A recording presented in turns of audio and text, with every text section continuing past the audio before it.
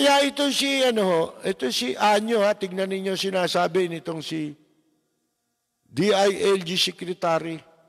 Hindi raw po lalaki ang bilang o madadagdagan, tataas ang bilang ng uh, COVID, kaso ng COVID sa Pilipinas, kung ang publiko daw ay eh, makikipagtulungan. Ano? Ano sabi nyo? Ha? Pakiulit nga. Anak ka ng pu. Anak ka ng pu. Anak ka ng pu. Eh, isipin ninyo, ah, uh, mali daw yung paniwala, ha? Maling paniwala daw, uh, yung mga nasa ilalim ng less restricted, restricted general community quarantine, eh, are free from the virus. Teka muna, bakit ganon? Publiko, sino ba naghigpit? Kayo. Sino nagluwag? Kayo rin. Ano sabi natin nung mahigpit?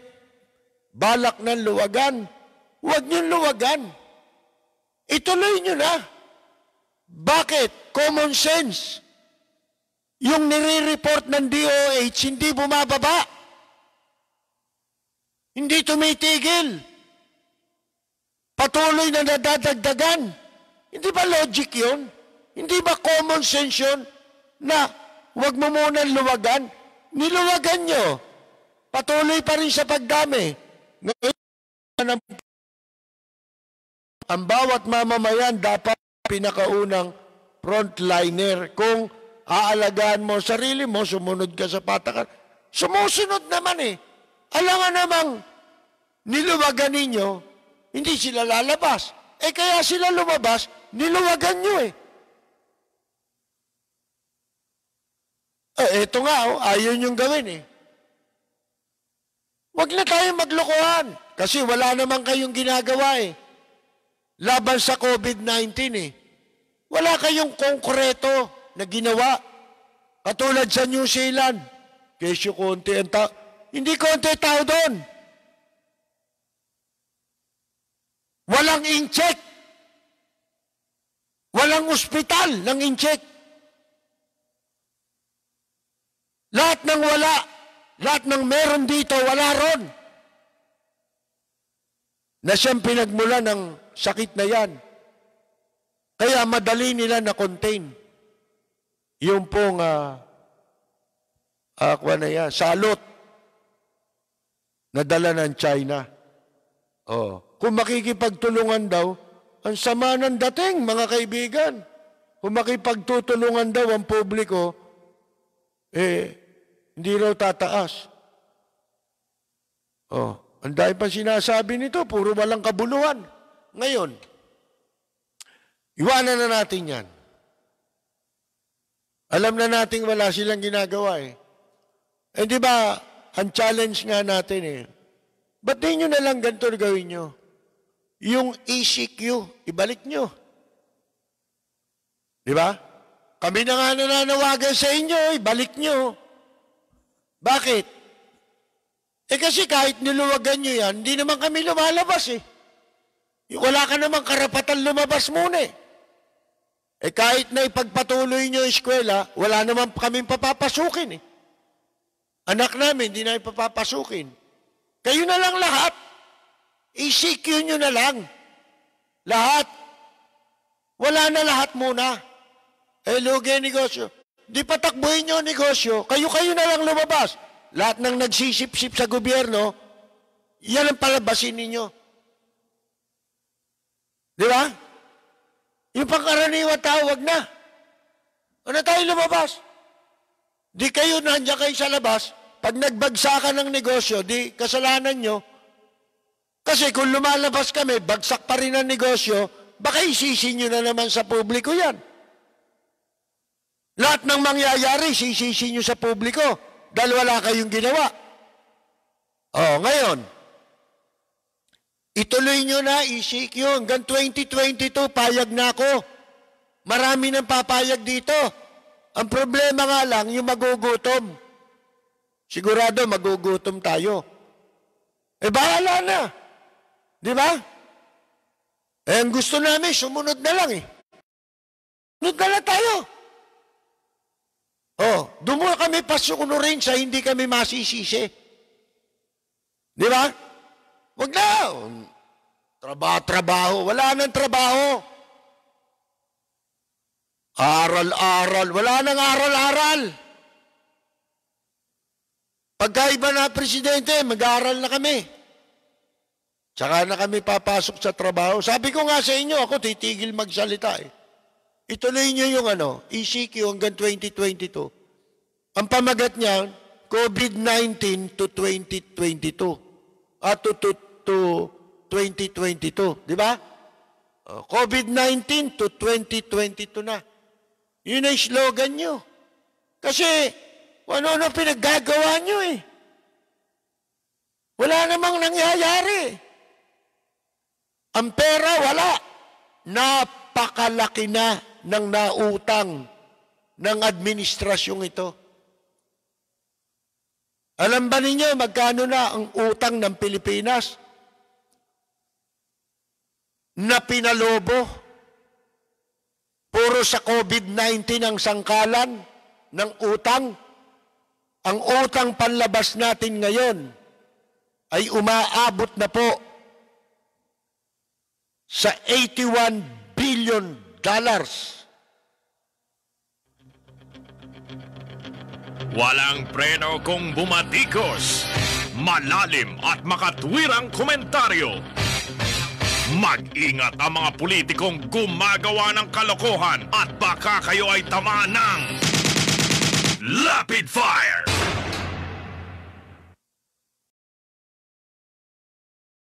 Uh, tingnan ninyo ha, ang hindi tayo lagi nating sinasabi kung ano ang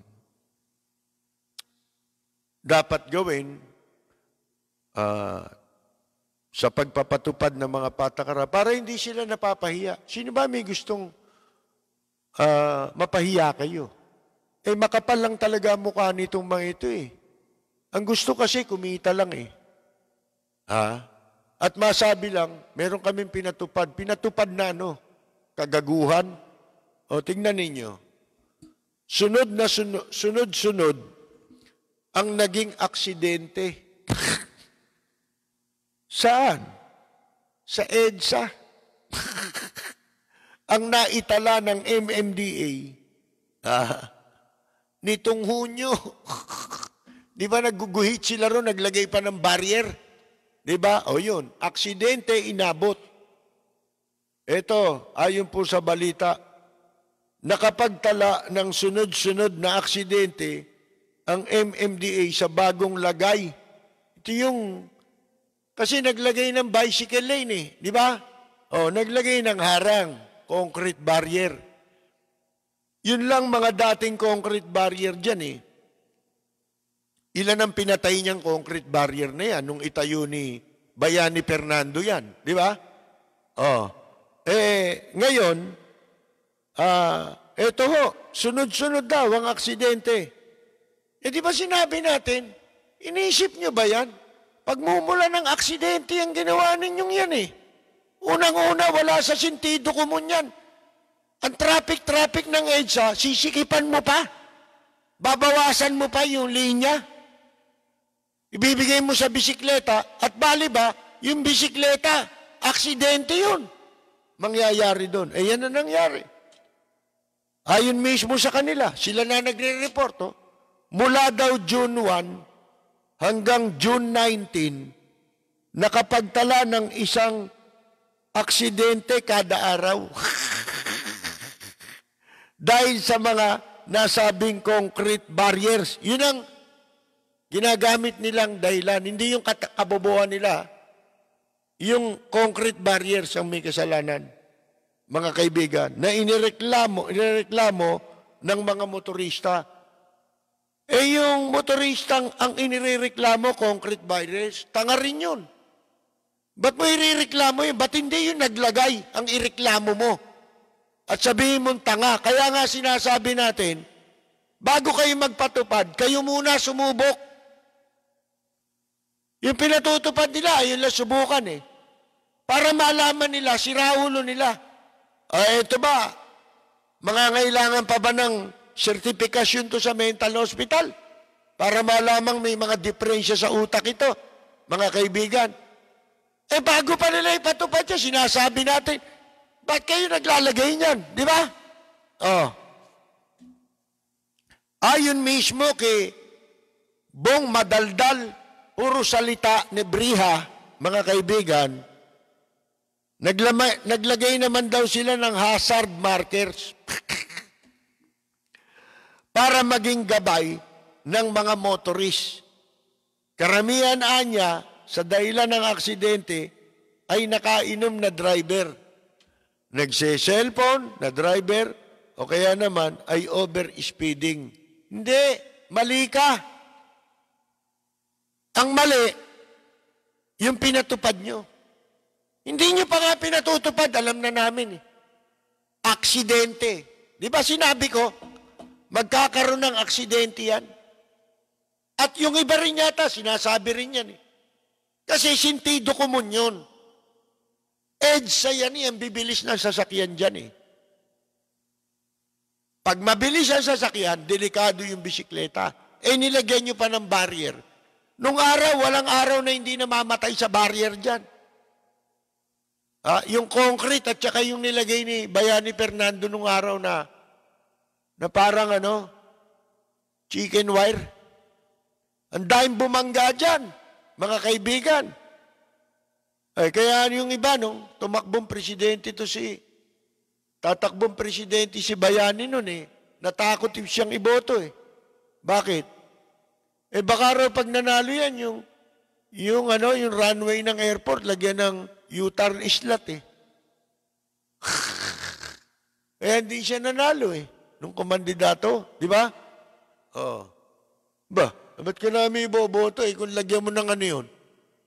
Ng uh, U-turn islat yung ano, yung runway ng aeroplano, di ba? Eh, pinaglalagyan niya ng ano yan eh. Dati, U-turn islat, yung mga karsada, di ba? Oh. Ah, yan ang talagang ano. Hindi naman sila, kwan eh. Hindi na sila nahihiya kung maging failure. Middle name na nila yun eh. Ba't pa sila mahihiya? Bong failure mid ni Briha. Jojo failure ni Briha. Ha? Si Danny, ah, uh, kumikita lim. Ha? E, failure. Wala namang pinwestuhan si Danny Lim na kwan eh. Nagtagumpay eh. Kaya ngayon, pinagtatawanan kayo eh. Pakudeta-kudeta kayo. Nung kayo, alam nyo, madali yung ano eh, pumuna kayo eh, nung araw, di ba? Laban-laban sa gobyerno. Nabi! National, nationalist daw sila, oh. Makabayan daw sila, oh. Nilagay sa custom, ano nangyari? Mga kaibigan, nagtagal ba? Ha? Bakit hindi nagtagal? Ano dahilan? Di ba corruption? Oh. Yan ba pagmamalaki ninyo? Hindi kayo dapat pagtiwalaan. Oh. Mga kaibigan, nationalist daw sila, makabayan eh, makabansa, mga ganon, di ba? Oh, sipin mo, oh. yung pala, gusto lang magkapwesto sa gobyerno? Gusto lang palang kumandidato? Oh, di ba congresswoman yung asawa niya yata o siya? Ha? Party list, sindikato. Hindi alam ng tao, sila yung mga uupo. Di ba? Ang daming party list na naloko, nakapanloko eh. Hindi alam sino mga, mga nominee. Oh, mga kaibigan. Kaya tigilan nyo na yan, yung mga. Talagang masisira yan. Ang, hindi ang may problema dyan yung barrier. Ang may problema dyan kayo. Pinagpipilitan nyo para may kita ka agad. Di ba? Eh, bahala na sumabi. Total, hindi naman tayo mga aksidente. Sila naman eh. Di ba? O pag na-aksidente sila, kasalanan ng barrier. Hindi nating kasalanan. O, mga kaibigan. Di ba? Yung barrier, hindi naman kumikilos yun eh. Binangga mo eh. Di ba? Yun ang kakatwiran nila. Katwiran ni Fernando nung araw yun eh. Pag kami na-aksidente rin sa mga pinagagawa niya, sasabihin niya, hindi naman gumagalaw yan eh. Ikaw yung gumagalaw eh. Yung na-aksidente eh. Oh, di ba? Ano kasalanan ng barrier tsaka nung, nung chicken wire na pinagkakabit ko dyan? Eh, ikaw yung bumangga doon. Mga kaibigan. Naglagay pa nga si Bayani Fernando ng kwano, no? Yan, barrier, yung chicken wire din. Yung pagbaba mo ng kwan, ng, ah, ano tawag nito? Bumaba ka ro sa bus. Eh, layo ng lalakarin mo. Para ka makapasok doon sa, ano, dito sa island. Ang layo. Tapos ang taas-taas pa naman ng MRT. Ha? O, simo, lalakarin mo yun, kung sasakay ka ng MRT, babalik ka na naman pabalik para ka makasakay doon sa, makaakyat doon sa hagdan ng LRT. Sabi nung isa nakasabay ko ron eh, Sinitanang ko eh, ng MMDA eh. Ba't ka niya dyan lumalakad eh? Bawal dyan. Doon ka dapat maglakad. Ano? Sabi ng matanda. Tawagin mo nga dito yung amo mo, si Fernando. Eh bakit oh? Para malaman niya, si Raulo niya, siya pag, paglakarin mo rito. Oh. Mga kaibigan, oh. Tingnan ninyo, oh. araw-araw pala may aksidente na riyan. Hindi nga tayo nagkamali. Hindi ho ba, mga kaibigan? Walang preno kung bumatikos. Malalim at makatwirang komentaryo. Mag-ingat ang mga politikong gumagawa ng kalokohan at baka kayo ay tamaan ng Lapid Fire!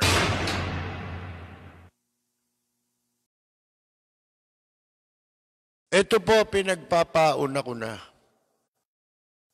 Matapos man itong pandemya na ito, sa malaot, madali, malaki na ho ang problema nating mga mamamayan. Marami sa atin, matatagalan pa. Isa sa mga apektado nito, mga working musicians. Wala na. Ah, matatagalan na yan. Tanggapin na ninyo katotohanan. Eh, paano gagawin? Ganun na lang ba yun? O hindi ka nakikilos? Mag-iisip ka muna. Ito ha, payo ko sa inyo. Kasi ramdam ko na eh. Ang hirap eh. At wala na tayong alam kung ano mangyayari. Yung mga dating negosyo, ang laki na ng epekto niyan. Kahit na ibalik sa normal na buhay tayo, yung wala nang mga restriction, napakahirap na makabangon. Ano pa ipang kakain ng tao sa mga Jollibee, mga McDonald na yan? Wala na. Kayo mag-isip. Wala na rin trabaho. Kasi yung mga ah, mga employer, wala na ipapasweldo sa inyo eh. Ang kailangan muna nila, pag-isipan nilang mabuti, planuhin, yung mga yung dating bilang ng workers nila, hindi na nila kaya ngayon yun. Mga kaibigan, kailangan muna nilang magsimula, ha? At maka pundar ulit. Makapag-establish ulit. Wala na. Pag-isipan nyo mabuti. Hindi sa ano ha, ito'y paghahanda na dapat din pinag-iisipan. Ni walang nagtuturo sa inyo. eh. Dapat sa gobyerno, kung matino lang itong gobyerno to, ang dami nating agency, wala namang ginagawa yan, dole. Ayun, kung di pa nagalit yung hari, walang gagawin si Belyo, kundi dumaldal. Daldal lang yan eh. Kasi hindi pagkakakitaan eh. Kung ang problema ngayon eh, kung malasakit lang ang gagawin mo, wala kang kikitain.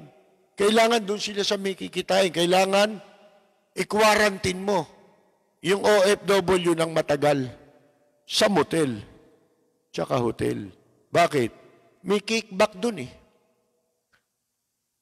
Pera ng OWA yun eh. Pera ng OFW yan. Ngayon, ang dapat na ginagawa sana ng mga agency ng gobyerno, nag-iisip. Gumagawa na ng programa. Di ba? Pinag-aaralan na nila, may study ng ginagawa dapat kung papano. Matakbo pa ba tayo? Kung papano i-reinvent ha ang mga profesyon ng tao o ang mga linya ng hanap buhay ng tao. Di ba dapat ginagawa yan na study? Wala silang ginagawa niyan. Ito, isa sa affected sector. Hindi nga lang ganong kalaki, eh, pero sector pa rin ito. Ang mga working entertainers, working musicians. Kailangang i-reinvent na ninyo ang inyong sarili. Tandaan nyo yan. Yung mga venue, bumalik man tayo sa normalization, dalawang bagay lang eh. Maaring marami na ang hindi muna kukuha ng live entertainment. Ito yung mga working. Wala na muna. O kung kukuha man yan, magbabawas na yan. Hindi na kamukha ng dati. So, kailangan bilang musician, entertainers, nag-iisip na kayo ngayon. Paano nating i-reinvent ang ating sarili? Hindi ba? Para tayo na ating kakaharapin. Di ba? Paano nating pakikinabangan itong napaka gandang talent na meron ng mga Pilipino. Yan ang unang-unang dapat na ipinag-iisipan na. Tumatakbo ba tayo? Sigurado ka? Nakahinto na kasi ito eh. Ha? Ah, so ngayon, mga kaibigan, eh, ano? Kailangan ng mga entertainer, i-consider na ninyo. Di ba ngayon eh, ah, nagla-live kayo para lang mailabas yung ating stress, di ba? Number one yun. Ah, at saka makapagpasaya ka ng mga tao. Magkaroon ka ng communication ulit sa mga tao. Kasi isa yan eh. Magiging problema ngayon ng mga tao yung wala na. Stress ka, wala ka ng ano, yung uh, interaction na sa mga kaibigan, kamag-anak, wala na eh. Uh, parang baliwala na ang buhay sa iyo, di ba? Oh, wag naman kayong mawawalan ng pag-asa. Ang kailangan lang eh mag-isip. Ano ba ang pinakamagandang maisip ngayon? Umisip kayo. Total eh, nagagamit ninyo ang social media kung paano kayong kikita. Halimbawa, nagla-live ka ng Facebook. Ba kailangan natin mabuhay pare-pareho? Yung talent mo, inilalabas mo dyan, kumuha ka ng mga kaibigan, customer, na magiging customer mo. Diyan sa pagpe-Facebook mo. Di ba? Ipunin mo sila, di ba? Sa isang gabi, minanonood sa'yo, mga dalawampu, tatlumpu, di ba? Oh.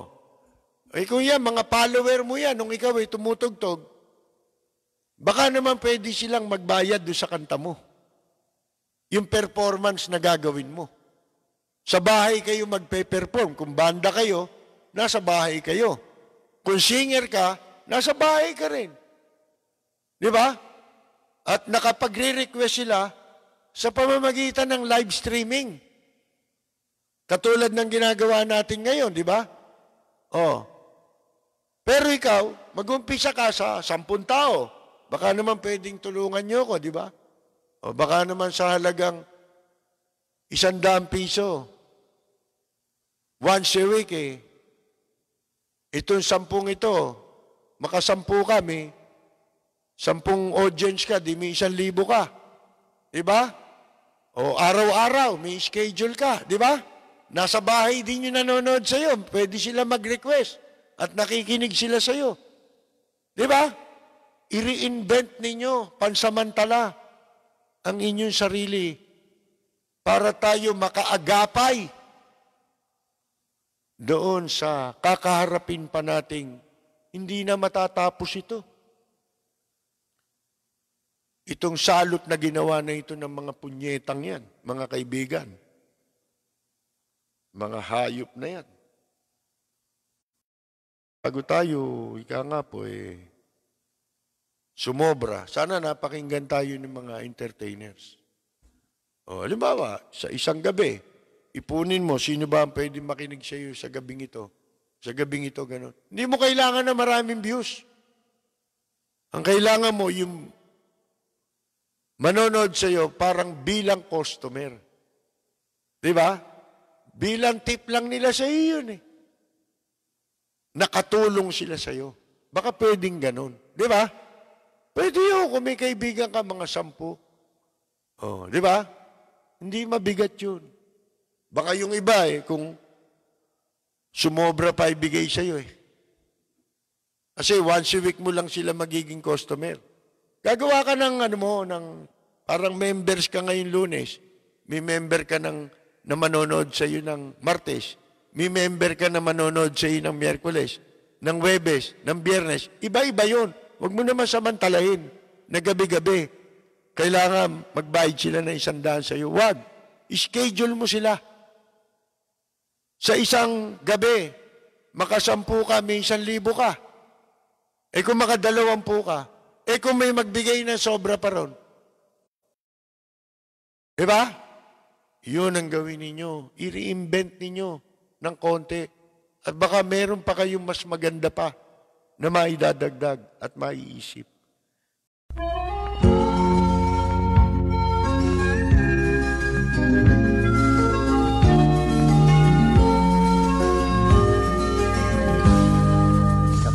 Ko ay isa ang lahi. Dito'y wala ang pagkukunwari. Hindi hindi padadaig Sadyang kilala sa daigdig. May pagkakaisa sa bawat nais. Ang bayan ko'y punong-puno ng yaman bakit ito'y kailangan pang iwanan? Hindi nga ba't anong sarap mabuhay ng buong ganap? Sa bayan mo, sumabit lang yaong wakas Dito sa bayan ko, lahat kami pantay-pantay Walang nang aapit, ang pag-ibig